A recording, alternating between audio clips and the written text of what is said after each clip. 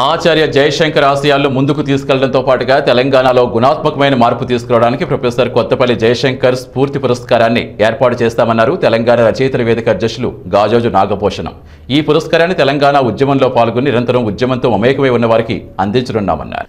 కొత్తపల్లి జయశంకర్ ఆశయాలను ముందుకు తీసుకెళ్ళి దానిపై చర్చ కొనసాగేలా ఉండేందుకు తెలంగాణ రచయితల వేదిక ఆధ్వర్యంలో ప్రొఫెసర్ జయశంకర్ స్ఫూర్తి పురస్కారం రెండు వేల ఇరవై అనే కార్యక్రమం చేపట్టారు.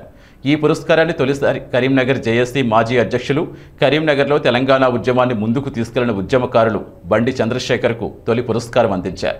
నగరంలోని తెలంగాణ చౌక్లో పురస్కారంతో పాటు ఐదు వేల రూపాయలు విలువ చేసే చెక్కులను అందించారు. ఆచార్య జయశంకర్ సార్ ఆశయాలు కొనసాగించేందుకే ప్రొఫెసర్ జయశంకర్ స్ఫూర్తి పురస్కారం రెండు వేల ఇరవై చేపట్టామన్నారు తెలంగాణ రచయితల వేదిక అధ్యక్షులు గాజోజు నాగభూషణం. తెలంగాణ విముక్తి కోసం జయశంకర్ సార్ చేసిన పోరాటాన్ని సజీవంగా నిలిపి భావితరాలకు అందించేందుకు ఈ కార్యక్రమం చేపట్టామన్నారు. హైదరాబాద్ ట్యాంక్ బండిపై జయశంకర్ సార్ విగ్రహాన్ని ఏర్పాటు చేయడంతో పాటు వరంగల్లో స్ఫూర్తివనాన్ని నెలకొల్పాలని కోరారు. అంతేకాకుండా నూతనంగా నిర్మిస్తున్న తెలంగాణ సెక్రటేరియట్లో జయశంకర్ సార్ నిలువెత్తు విగ్రహాన్ని ఏర్పాటు చేయాలని విజ్ఞప్తి చేశారు.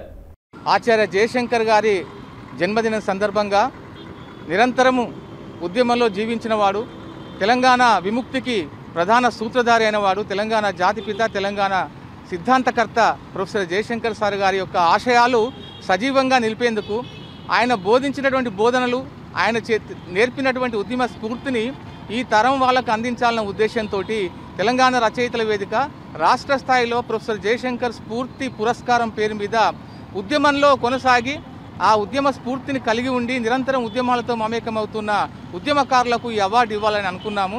దానికి సముచితుడు. బండి చంద్రశేఖర్ అన్న తెలంగాణ ఉద్యమం కొనసాగినప్పుడు ఇదే తెలంగాణ చౌక్ కేంద్రంగా అనేక ఉద్యమాలు వేలాది లక్షలాది మందితో కొనసాగినటువంటి ఉద్యమాల్ని ఇక్కడ చేయడం జరిగింది.